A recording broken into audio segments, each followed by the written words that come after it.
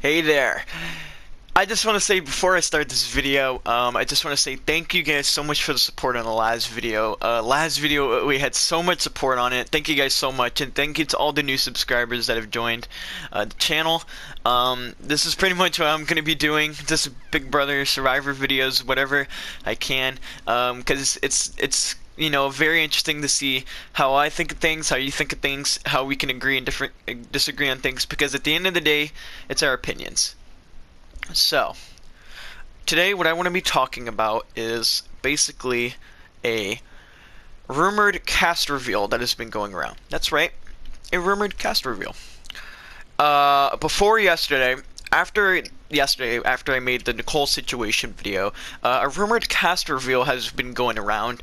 Um, to be honest, I'm very shocked with some of the people that are not there, some people that are actually in there, and I'm just shocked about like how I thought there was going to be more winners. To be honest, I thought there was at least going to be four winners, three male, two one female, and I knew the one female was going to be Nicole, and I knew one of the males was going to be Ian. Um, there's been a rumor that Josh might have gone coronavirus, and maybe that's why he's not on it, which makes sense. Um, but another reason is, you know, I thought also like Hayden was going to be on this cast the other brigade members on the cast and Enzo, and Hayden's not on the cast, which is crazy.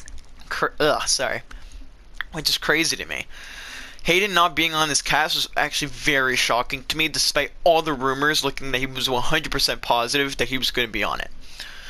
Alright, but we're going to be talking about the rumored cast reveal. Um, as you saw probably from the four pictures I have in each corner, those are some of the people that are going to be on the cast. I will say warning though, if you do not want to know the cast right away, I highly recommend to wait and I highly suggest to wait until I make the official cast reveal video because that's because that's when pretty much the whole entire cast is officially revealed and I'll be talking about it there. I also will be making a player rankings. So before the season starts, I'll be making a player rankings. How that works is say I have somebody like number 5 out of like 16 or something. I believe that person's going to get 5th place on that season. That's pretty much how I think it's going to go. So I'll be getting player rankings and then my winner pick will be revealed during that player rankings video. But without further ado, let's begin with the rumored cast reveal. And I'm going to start with the first female I saw and I noticed from the cast reveal. By the way, the pictures are going to be up here. Uh, Bayleigh Dayton from Big Brother Season 20. To be honest, I kind of was thinking about it. It is interesting, though, that, you know, her husband's not on this cast and Swaggy C, but, you know, it is what it is. I mean, Bayleigh to me, it does make interesting. How she would do the season, gonna have to see. Uh, she does have Tyler, who, I mean, they had a pretty huge confrontation during one house meeting during that season. So we're gonna have to see how that goes. Um, but it is gonna be interesting to see uh, how Bayleigh and Tyler are going to be with each other. Um, considering everything that happened in their season, there's a lot of confrontation. The house meeting explosion was insane to me. But uh, Bayleigh being on this cast definitely going to be interesting. I definitely want to see who she would align with. As to be honest, there's a lot more old schoolers than I was expecting, which I'm actually super happy that there is because I want to see them play the new school game. But um, yeah, Bayleigh being on this cast definitely makes sense. I feel like uh, BB20 players, there was going to be a few of them here, so definitely makes sense why she's on the cast. Next from BB19 was Christmas. Christmas was uh, a part of an alliance with Paul and Josh. I thought both of them also were going to be on this cast, but Paul has released a statement yesterday saying that he won't be on this cast, and Josh might have uh, I don't know if it's true, but I I heard that he might have coronavirus, so we're definitely gonna have to be ready for that. But hopefully he's feeling better. By the way, if he does. But Christmas here, I'm I definitely want to know uh, how she's gonna do this season because during her season she had something on her leg, so we're gonna have to see how she would do this season. Though I'm very interested to see how she would do. Um, I, I definitely think her strategy would be different than how it was in BB19. I feel like she definitely wants to try being more dominant of a figure this season and probably try getting all the new schoolers together. Probably try to get some people that she can get to be an alliance with. Um, but we're just going to have to see how it goes because right now I could see Christmas probably being at the bottom at the house because the thing is, with this cast reveal, if Paul and Josh were in here, I thought it was going to be the same alliance that they had in BB19 with her, Paul, and Josh. Now, you know, Christmas, she's not going to have those two. So I have a feeling she's going to be in the bottom. She'll probably be in the minority of eviction votes for the first few evictions, but maybe she'll probably be in the majority once she can finally find some allies. But for me, I have a feeling she might be in the bottom. Next up, I want to talk about uh, another BB20 player. We have Tyler Crispen. Tyler, I've played a completely dominant game. If I was a part of the jury in BB20, I would have voted for Tyler to win. It was crazy to me how he didn't win the game.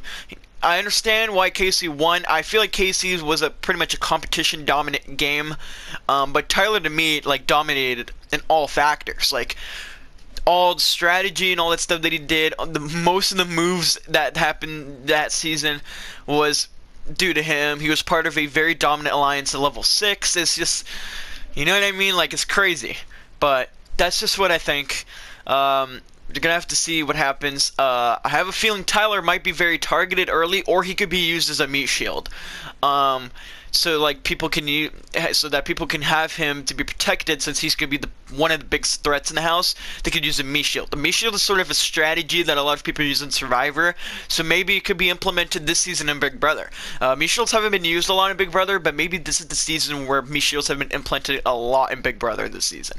I have a feeling that might be the case since there's so many huge threats entering the season. Next up, um, the next person I want to be talking about. So far, we talked about two girls and one guy.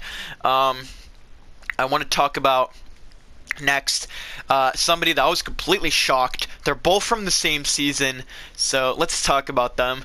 Memphis Garrett from BB10 I did not think he was going to be on this cast. Out of all the people from BB10, I thought if he got the call, he would always say no. The fact that he's on this cast is completely shocking to me. He was part of one of the most dominant dynamic duo alliances in Big Brother history to me, with the Renegades, with him and Dan. And, you know, they both made it to the end. I do think in a season he was doing a lot of what Dan was telling him to do, and sometimes I felt like he was playing second command to Dan, but there was some points where Memphis did do some moves that greatly benefited him and Dan. Um, even though I do think Dan's winning game is probably the greatest winning game of all time in Big Brother history so far up to this point. Um, you know, it's crazy. You know, um, both of them definitely played impressive games. Both of them played great games on their season. This season, though, I'm very interested to see how Memphis would play in the new school game because the new school game has a bunch of twists. They really used the, their thing of expect the unexpected because they really throw a lot of things at you every every single week. Um, but I, am interested to see what she he would do. He does have another BB10 player here, and he was aligned with them. However, you know, he, did betray that person. He did backstab them at the final four. We're gonna be talking about that person very soon. Um, but you know, Memphis here. Um, I definitely could see him actually being part of a majority alliance, maybe like a final five, final six alliance. Um, however, if he is in that alliance, I, I do could see him being the bottom of that alliance, however. So I am interested to see how it would be. I also could see him, another scenario could see him being a huge target simply because he is part of a dominant dynamic dual alliance in Big Brother history from his first season. But we're just going to have to see. Next we have Keesha from BB10. Keesha, yeah, I think out of anybody from BB10 other than Dan, for me, she was 100% positive going to be coming back. I feel like she was another person from BB10 I could have seen possibly coming back for another season. So to me, it makes sense that she's back. Um, for this season, though, um, I don't think a lot of people are going to be targeting Keesha, to be honest. I have a feeling a lot of people actually want her to be an alliance and allegiance for her. Because it's like, she hasn't played since BB10. She got out four, fun of four. You know, if if there's anybody from BB10 that's coming back with just two people, it would definitely be Memphis. But for me, Keesha, I could see her being a part of an alliance. Um, probably actually could be could get a lot of close allies to be honest in the house. Um, now Keesha did have a lot of confrontations in her season, um, but I have a feeling this season, I have a feeling Keesha would definitely play an under the radar game, be part of an alliance. I could possibly see her getting to the end game. For me, the end game's like final six on. I could see her getting to the end game, but I have a feeling she'll probably go out to like final five, final four if she did. But it would be very interesting to see Keesha play again. Um, confrontations in her season were absolutely amazing, and I do agree with most of the points that she was saying during her confrontations because it makes sense what she's talking about, and you know it was huge. Um, good to see her coming back. So yeah. So yeah, let's talk about two other people that were from the original All Stars. We're gonna start with one of the people that I thought was completely locks coming into the season, Janelle Pierzina. Like, if there's anybody from the original All Stars that was gonna come back, it would be Janelle. And Janelle's gonna be the first player in Big Brother history to have played four times, the most out of any BB player. I believe second is Mike Boogie Malin, because uh, he played in BB2, BB7, BB14. Janelle's about to play in BB6, BB7, BB14, BB22. She has played in the most seasons for any player in Big Brother history. Um, it's going to be interesting to see how she would play this season. Uh, I definitely could see her winning a lot of competitions like she did in her past seasons. I feel like she played two com competition dominant games in BB6 and BB7. Um, her and Erika's move to get Will evicted at the final four BB7 All Stars will be a move that I think greatly benefited them if they managed, and it did greatly benefit them. However, they also need to manage to get out Boogie, and Boogie won the final HOH, and we knew if one of the Chilltown members were to get to the end, or both of them, one of them is definitely going to win, so it's going to see. Um, but, you know, Janelle coming here, and BB14, she was evicted in the pre-jury due to her having a huge target, and I have a feeling it's going to be, like, the same thing like BB14. She's going to be targeted immediately because she's one of the biggest figures in BB history. She's going to be targeted early. She's going to be somebody that people want to get out. Or she could also be used like a meat shield like Tyler. You know, we're going to have to see what's going to happen. But, you know, that could happen too. We're just going to have to see what happens this season, though, because it's definitely a different season than last last three times that she's played. So, we're going to have to see how she would do. But I have a feeling competitions for her are definitely going to be a competition dominated game for me again.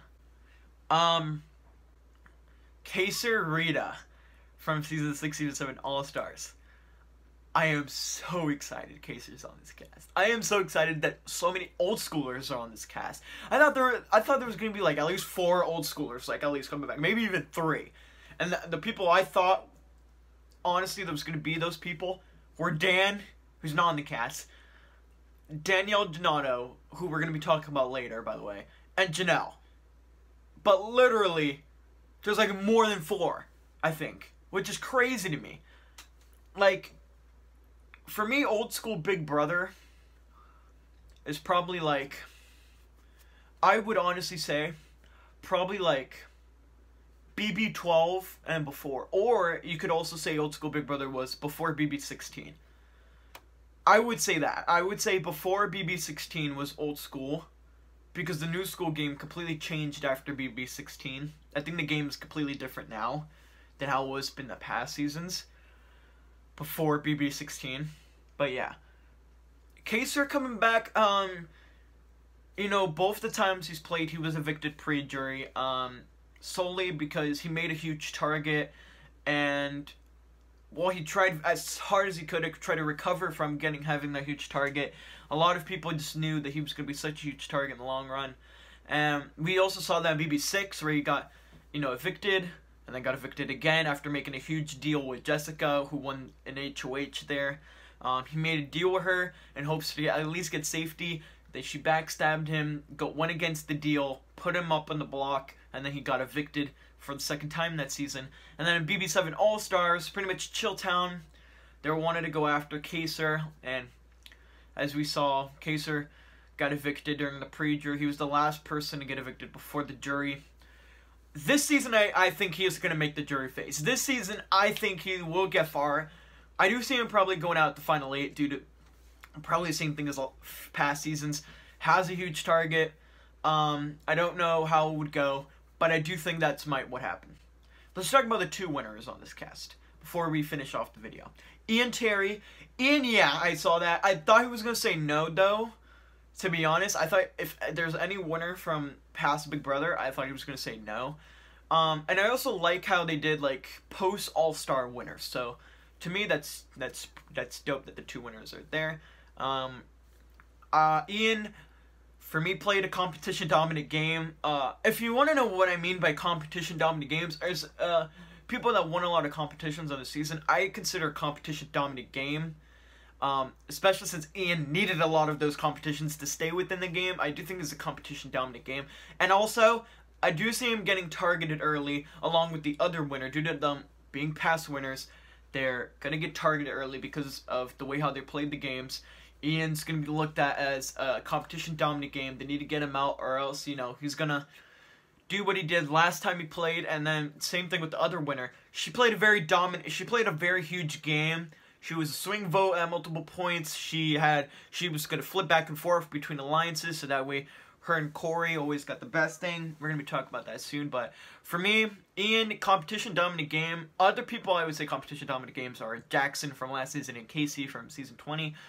I would consider Ian in that same pool, competition dominant games. Need competitions to get farther and all that stuff, but Ian for me, um, I think he's going to be targeted very early. I could see him going out pre-jury. Now let's talk about the female winner on this cast, Nicole Franzel. Nicole, for me, I talked about last video about her situation, being a spy and all that stuff, and everything that happened there. And I did read some of the comments for what you guys say, and also thank you for the support again from uh, yesterday's video. I greatly appreciate it. It was awesome to just respond to you guys and see what you guys think. Um, but for me, Nicole here I could see her also being targeted and possibly going out pre-jury, but I do see her making it to the jury phase, however. I think Ian's going to go out early because, like, his season, I feel like the way how he won his season, if he ever comes back for another season, he's going to be targeted right away. For Nicole, she could get try to get at least an alliance for the pre-jury, hopefully. If she doesn't, then she might go out pre-jury as well. It's going to be hard for these winners to you know, try to get to the top, be part of majority, because I have a feeling they're going to start off the game in the bottom. But we're just going to have to see what happens there. Um, but Nicole being on this cast is very interesting. Now let's talk about just the other people that are on this cast. Um, Danielle Donato, I she was going to be a lock of an uh, of an old school player. Um, now, if Dick was on this cast, it would have been interesting because then she would have a huge target on her back. But since it's going to be the first time she's going to be playing with just by herself. I'm interested to see what she would do in terms of her strategy because they always did moves together in BB-8 and BB-13. Well, BB-13, you know, he was expelled. I mean, not expelled. He had to leave the game due to personal matter. Um, we saw in BB-8 they made moves together. They made an alliance with Jessica and Eric. Um, they, then they betrayed those two to get farther in the game. Then they got to the final three, final four, evicted Jameek at the final four, evicted Zach at the final three, got to the end together, and Dick won the game.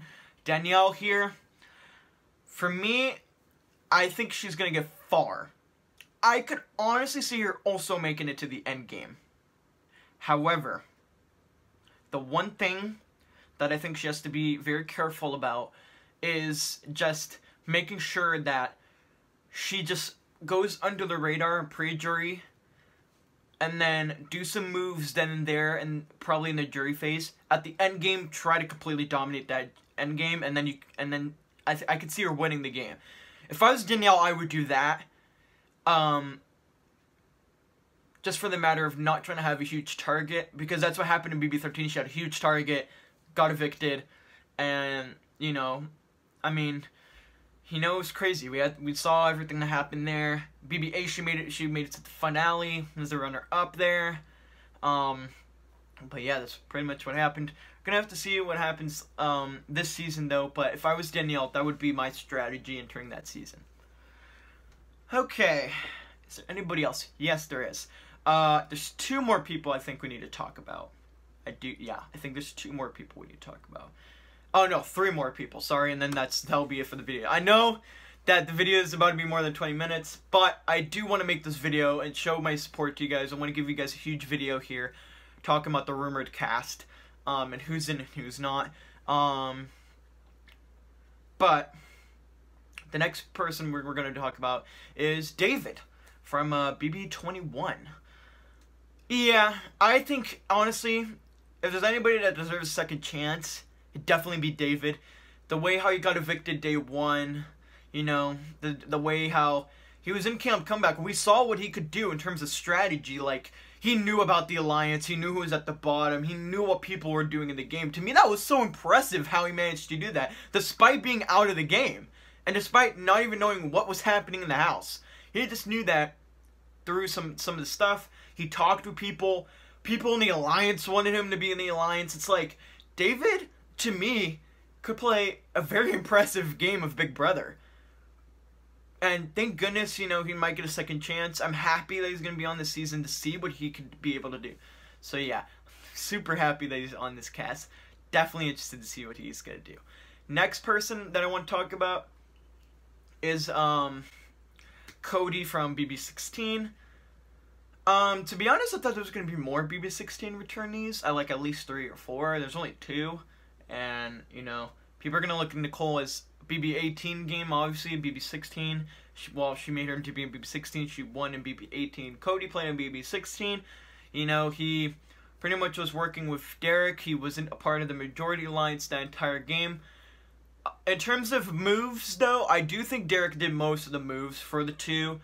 Um, I think Cody just, you know, he stuck with people, stuck tight with those people, make sure you didn't backstab them. So, I get it, but you know, it is it is what it is. You know what I mean? It's interesting to see what he would do this season. Um, if Paulie was on this cast, which I'm shocked he's not, by the way.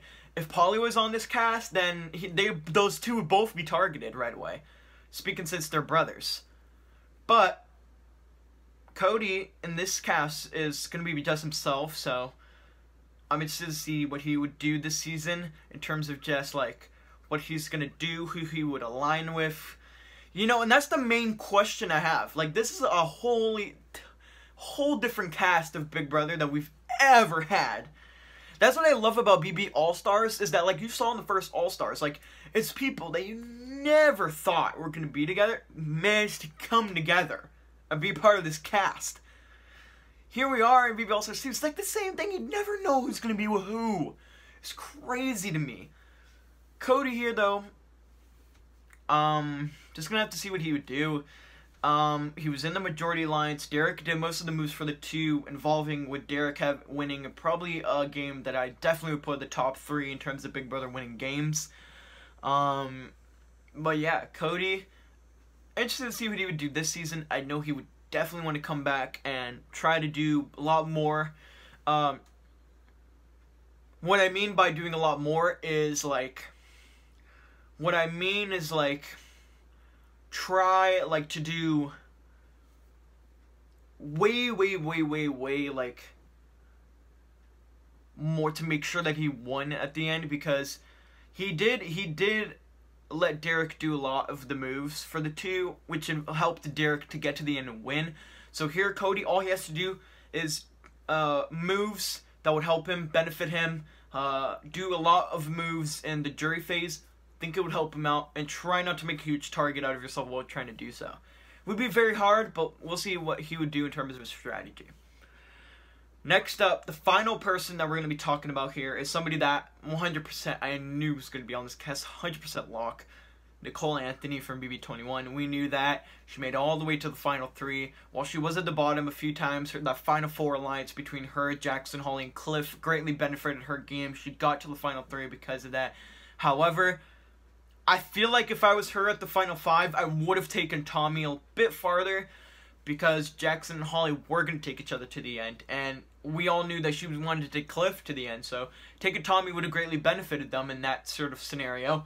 But they still stuck with the final four alliance, involving Jackson and Holly to get to the final two, evicting Cliff at the final four, and evicting Nicole at the final three.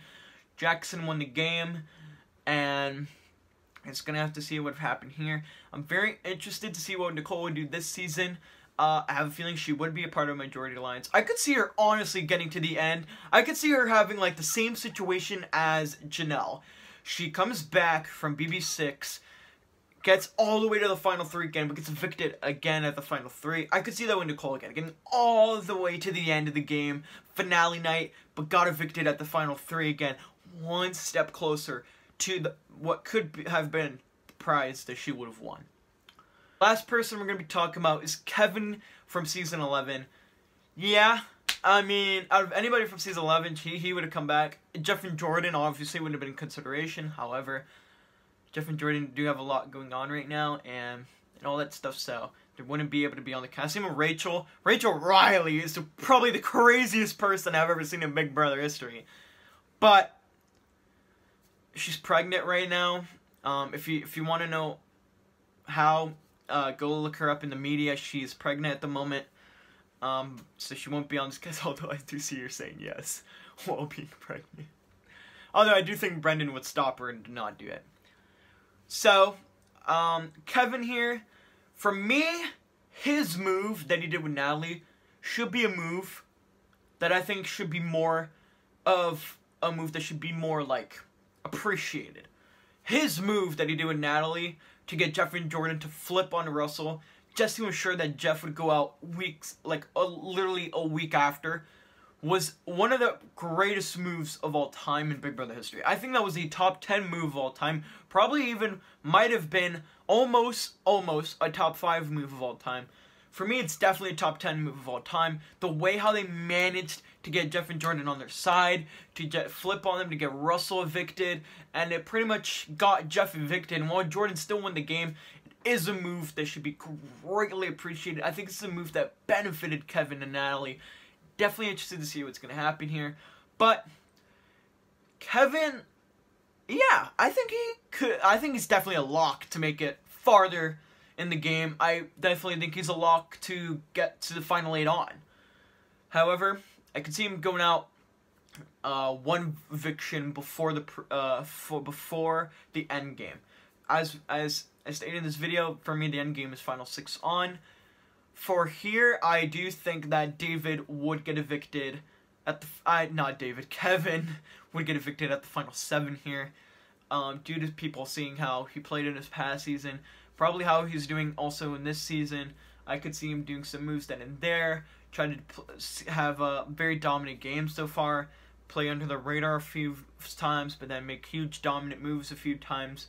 Which is something I thought about Kevin's game in season 11 was he was under the radar in the pre-jury, but to me, he had a very dominant like jury phase while at the bottom at the first few evictions up until he made that move that I think is the top 10 greatest move of all time. He just completely dominated the end game. And he would have won the game if he got to the end at the final two, regardless of who he was up against. Which, at the final three, if it was Jordan or Natalie, he was going to win the game.